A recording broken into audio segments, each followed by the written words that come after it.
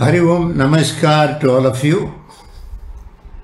Monica Madgula writes Hari Om Guruji rather than calling it raw emotion. Indeed, it is our reaction to a situation. How are we conducting ourselves in that situation becomes important. Are we succumbing to it or do we have capacity to not react? One thing I am realizing though, Guruji, at every point reacting positively has a better effect. Of course, we are humans, we get angry, but can we work on it? For me, raw emotions are pure and I have a tendency to just exhibit as I cannot hold back, especially when it is pleasant, but I could be wrong. Everybody prefers the company of a pleasant person not a grumpy one. Can we make ourselves pleasant and handle with ease? Everything is work in progress. One day we will reach if we start putting efforts with Lord's blessings. The barometer you mentioned, isn't it the intuition though, Guruji? You had shared in your earlier video that intuition is more from the mind, but sometimes I have a strong feeling for a person or a situation whom I have never met before or faced before. before we dwell into Monica's things, whatever she has expressed, first we have to understand what is mind. Mind is a very good mathematician. It knows addition, it knows subtraction, it knows multiplication, it knows division, it knows calculus, it knows trigonometry, it knows algebra, it knows everything. Mind is manipulative by nature. Okay. Generally, mind manipulates. If I want to achieve something and that cannot be achieved by normal means, then if my desire to achieve it is more, I start manipulating things as to how to achieve it. So, mind is a good manipulator. Okay. First, we have to understand this. Okay. Instantly, some feeling comes, it is not from the mind instantly any emotion comes, it is more from the heart. But when it is not sporadic, when there is a planning behind it, then it is more from the mind. Okay. A very small kid, when it wants to have a toy and when the parents are refusing it, it starts crying. It starts doing all gimmicks. At that particular point of time, it wants to have the toy. It gets a signal from the mind. What is it I have to do to achieve my object? The objective to achieve, what is it I have to do? It starts crying. It starts making a mess. It knows very well that if it does all this, the parents will get the toy. Even for a small kid, though we call children as innocent, there is some mind which gives an idea to the kid. And please remember, the action is very instant, instantaneous action. Even though it is instantaneous here, it is not from the mind. It is not from the heart. I'm sorry. It is from the mind. Absolutely, it is from the mind, not from the heart. Please remember. So, raw emotions are more from the mind. Try to understand this. When you are liking something and when you are exhibiting, it's not raw emotion. It is a very balanced emotion. because it is very positive. You like something, it is directly from the heart. You like to that extent that you are exhibiting your emotion. It is directly from the heart. Okay. It's not raw emotion. The raw emotion is more of a negative thing. It is more a negative aspect. It has got nothing to do with any genuine emotion that comes out. Okay. It is purely from the heart. The heart exhibits certain emotions. When you like something, when you do something for somebody, it comes from the heart because you do it wholeheartedly. That is why we call it wholeheartedly. Okay. This manipulation anybody can do against anybody. Please remember. Sometimes people use the mind to manipulate others. You should not allow others to manipulate you through their mind. Of course, mind is needed, mind is required, but where mind has to be applied, where mind should not be applied. Suppose there is a personal relationship. The personal relationship is more from the heart, it is not from the mind. Okay. If there is an impersonal relationship, it is more a relationship from the mind, not from the heart. It is impersonal. Anything personal must be totally from the heart. If a personal relationship you are going to use the mind, then there is no personal relationship. The relationship is totally impersonal, though it may look, it may be sometimes even between husband and wife, between parents and children, though it is supposed to be a personal relationship. Is it really personal? No, it may not be. They will be using the mind in different ways. In all such instances, it means it has become impersonal and one is trying to manipulate the other through the manipulative mind. One is trying to work out things with the other through that mind. They may use any drama, it may be crying, it may be shouting, it may be anger. Of course, they will be exhibiting. And in return, yes, the way we react, as you rightly said, Monica, the way we react may douse the fire or may pour fuel into the fire. So, can you be balanced at every point of time? That is where awareness comes. If a man is, if a human is full of awareness and he is able to look at the other person, watch at the other person, when he does the watching, when he is able to observe continuously, he will know, he will know how to handle things. If the other person is throwing some tantrums, and he is trying to manipulate your mind. And we also join. Then it is more raw emotion. Raw emotion doesn't mean that your spontaneous reaction to something. That spontaneity can be from the heart. Sporadic. Spontaneous.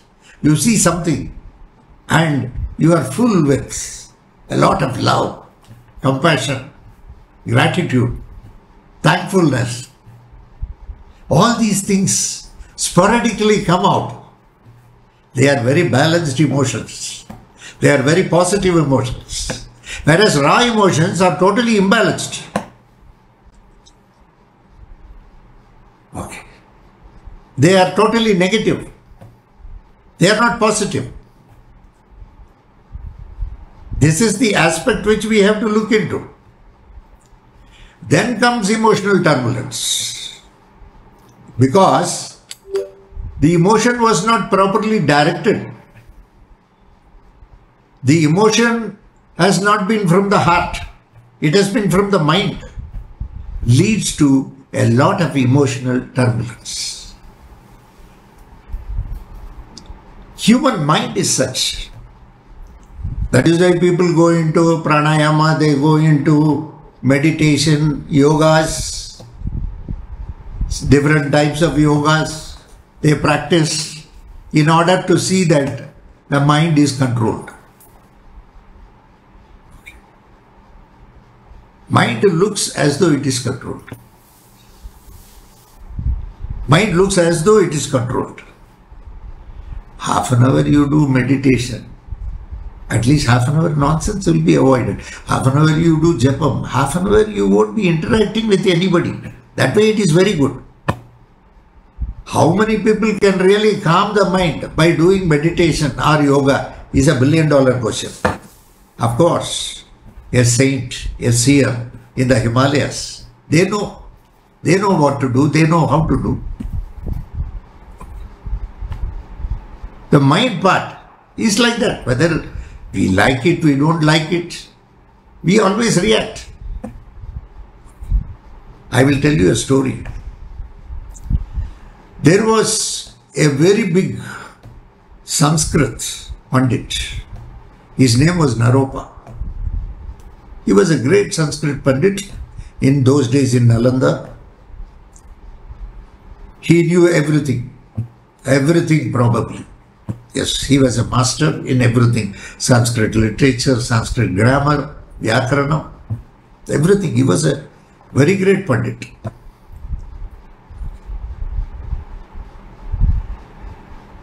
One day he was sitting and he was doing some religious work. He was showing his back to the sun and he was doing. He could see a big shadow by his side. He turned, he found a very old woman standing there. a very old woman. He turned towards her and he asked, Who are you? She smiled and said, Naropa, I know you, but you do not know me. My name is Vimalakriti. I have heard about you. They told me that you are a very big Sanskrit Pandit, Sanskrit laureate. I just had one urge to ask you one question.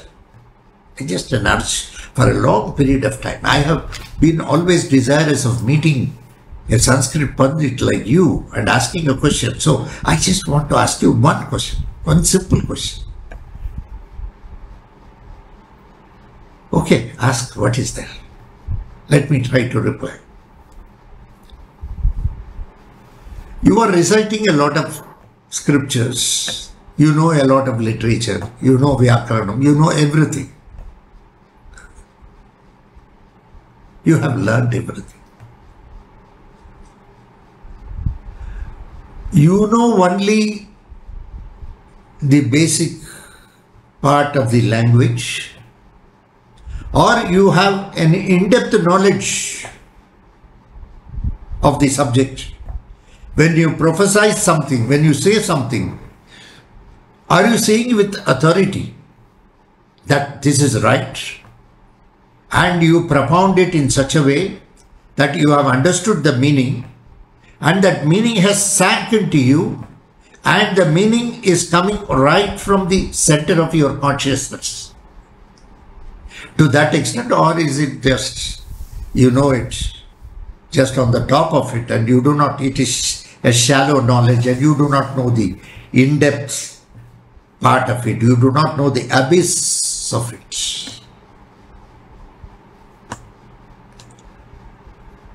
Naropa said, yeah, yes, I, I know only the top portion of it. She laughed. she laughed in a very big way. She laughed like anything. She was going on laughing. Then Naropa said, Of course, in certain things, I think I know the abyss of it. She started laughing and she started crying. She was crying inconsolably. Naropa could not console her. She was crying, crying, crying. Then she stopped. Naropa,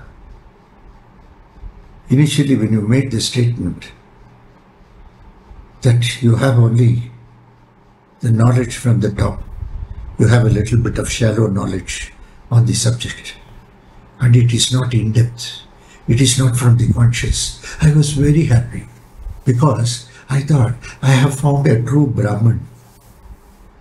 Brahmins never tell any untruth. They are very sincere. They are very honest. They are very honest to their feelings, thoughts. They are honest in everything. Manasa, Vacha, Karmana. In everything. They are so honest. They are practically the Lord themselves. They are truth. They are truth by themselves. I was so happy. So I laughed. I smiled to exhibit my happiness. But suddenly you changed your version. And you said in the middle that certain things I know, it is from the conscious. I thought, alas, what has happened to this Brahmin community? They have started speaking lies. This has really hurt me. I was never hurt like this. Whatever opinion I had about the Brahmin family is gone. Brahmins, it has gone. Now I know Brahmins will speak untruth, lies. Naropa, I am hurt. That's why I cried. Naropa very impressed. Naropa was very impressed with what he heard from Vimalakriti. He prostrated her. Please accept me as your disciple. I would like to be your disciple and learn something better in life. Of course, I have learned a lot of things, as you rightly said. It has not touched my conscience. It has not sank into me the way it should have sank. It has not sank into me. It has not sunk at all. That being the case, now at least I want to be a changed person. You have opened my eyes. What all I was doing all these years is just a criminal waste.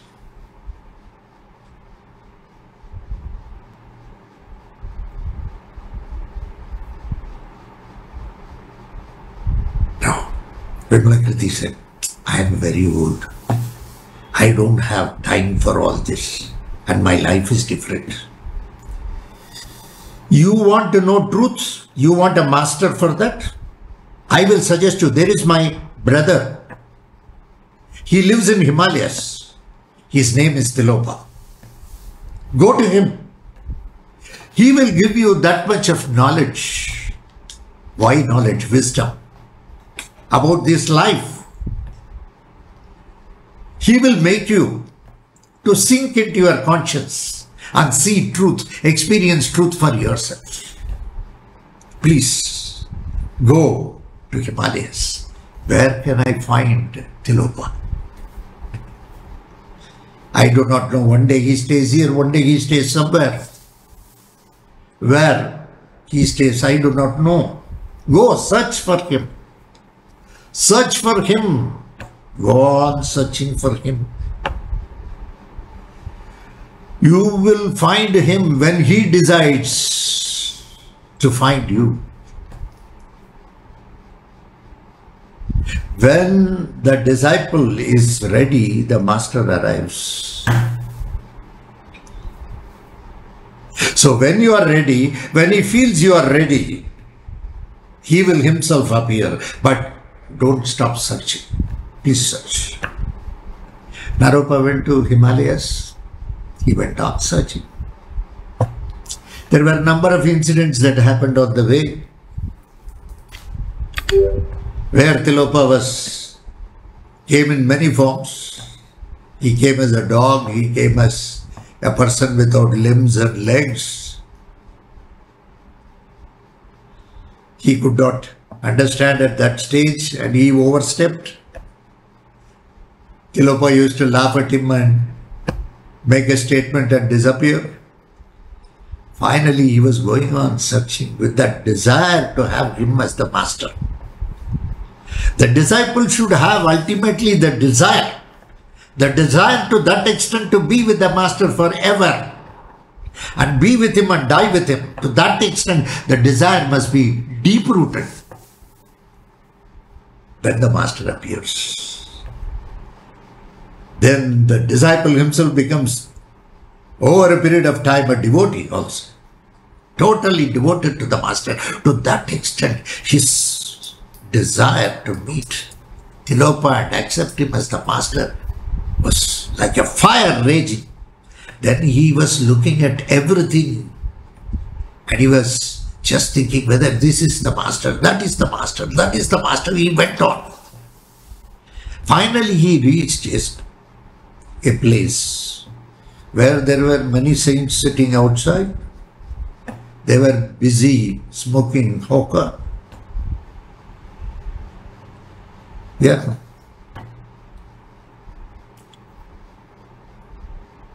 All these people he asked, can we, can I meet Tilopa?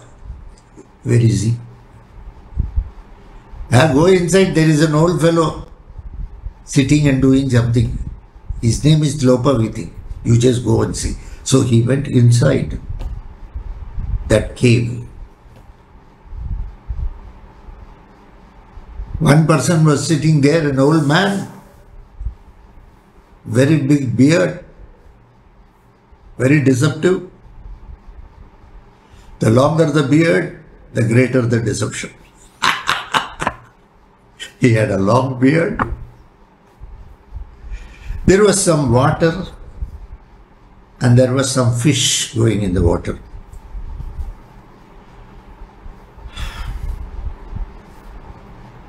He just took the fish from the water and he placed it down. The fish wriggled and died. Once again, he took one more fish, placed it on the floor. One more fish, placed it on the floor. All fish were dying. Naropa saw, he's a Brahmin. What is this? Vimala Krideshi sent me to such a person who kills fish. He is smiling as they are wriggling to death. To such a person, is this the master I have been searching for all along? So many days, so many weeks, so many years I have spent to search for him. Is this what I have to see? Tilopa looked at Naropa, smiled, he took back the fish, which is already dead, and put them back into water. They started swimming. Naropa was surprised. Tilopa smiled. What makes you to come here, Naropa? he asked. He was stunned. How oh, this master knows my name? Malakriti could not have come, and those days they didn't have mobile to inform.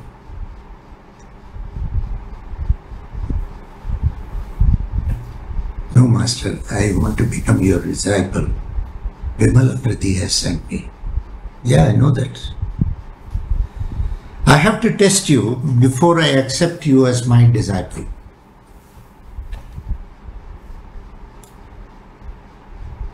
He made a very daring statement. He told him, you go and bring your wife. You go and bring your wife from Nalanda. Please bring her.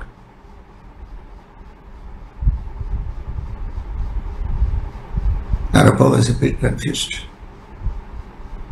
What for? Yes.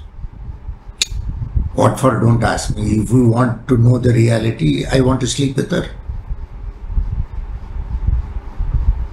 Naropa went, brought his wife.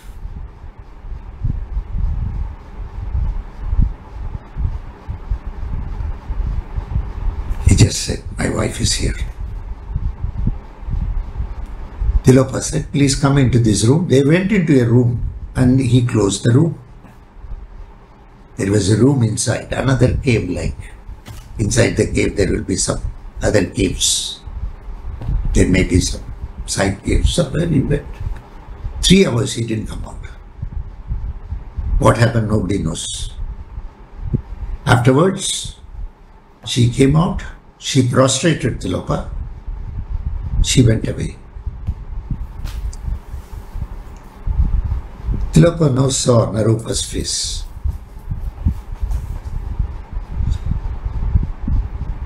Tilopa was observing the mind of Naropa. The mind was very pure. The mind was very conscious. The mind did not have any doubts. It was more the heart in the form of mind. If my master has asked something, there must be a reason for it. And whatever he does is for the good of the world. Even had he used my wife, that might have been for the good of the world. His mind did not suspect his master. His mind was very beautiful, very subtle, very excellent. And Tilopa could only see the heart of Naropa and not the mind. The heart had overtaken the mind.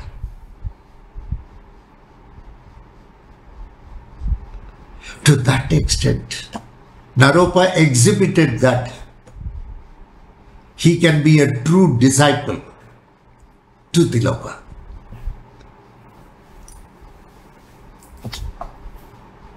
Okay. Naropa, I like you.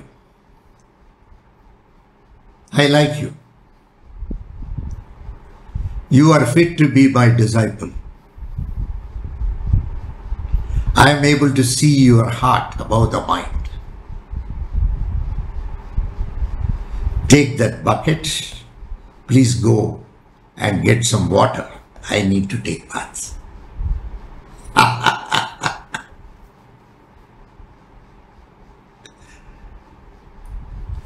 the emotions of Naropa at that particular point of time were very positive. So when you use the term raw emotions, it is negative. It is not just pouncing. That emotion which comes from the heart is sporadic emotion. When it is raw, it is more negative. When it is sporadic, it comes from the heart. When it is raw, it comes from lower levels of mind. Mind does have different levels. It comes from lower levels of mind. Yes, barometer means not the intuition, it is the soul is the barometer, the heart. The heart is the barometer. Heart is more closer to soul. That is where the consciousness emanates. So, the intuition is more from the mind. But from the heart something comes. From the heart something comes. It is directly from the soul.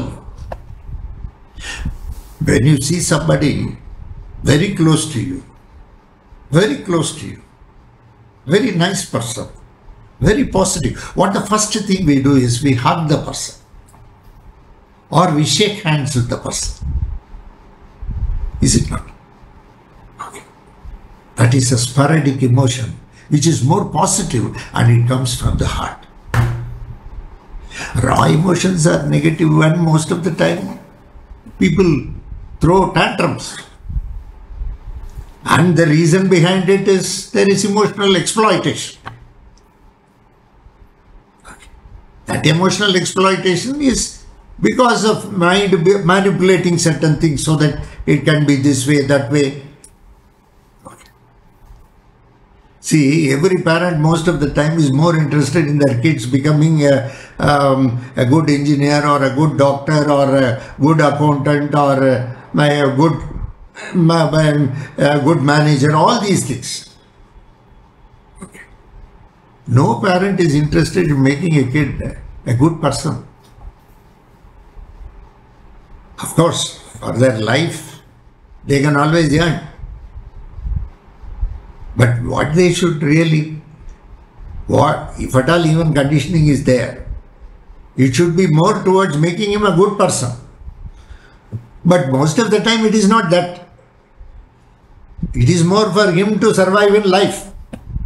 Survival in life can be always be there. It's not a big thing. Okay, so there is something in the books and you have to read and vomit it. For which uh, you don't need any big uh, coaching. Okay, even you may go coaching also, you will pay so many people are going there learning, all right. But your person, your son or daughter must be more closer to heart. They must not be people of the mind. They must be people of the heart. To a little bit of education, qualification, all these things. Nowadays kids have got enough in, intellect to manage all those things. It's not a big thing. You can put them in some institute, they will get through all those things is not. But how are you going to develop them as a person? As a person, as a lively person who is not only useful to himself but also useful to the nation, to useful to the society, useful to the world, useful to the environment. What are the steps you are taking? No. Because the mind is driven by certain things. No, no, no, he has to become this, he must be this, that, that, as though all others are.